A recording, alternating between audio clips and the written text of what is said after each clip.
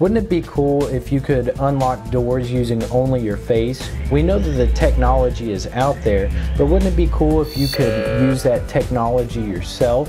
Well, in this video, I'm going to show you a computer program that allows you to do that.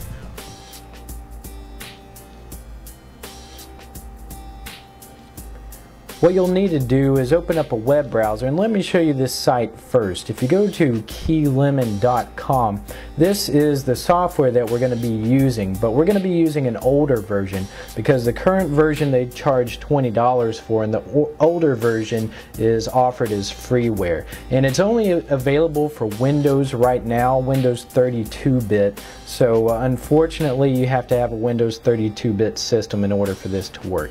Now if you go to the link that's in the uh, comments, it'll take you to this page where you can download the older version of KeyLemon, which is called Banana Screen. And you can install this older version to your computer.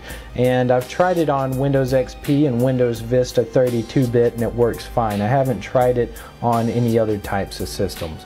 But once you get it installed, just go ahead and start it up and you should see an icon for it in the lower right hand corner of your screen.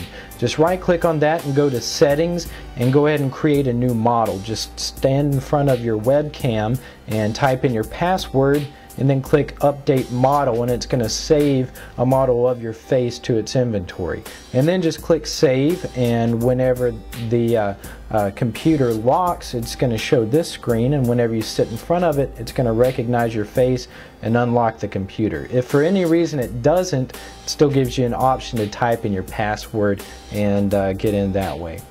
Alright well have fun with it. That's it for this tutorial. For more go to tinkernut.com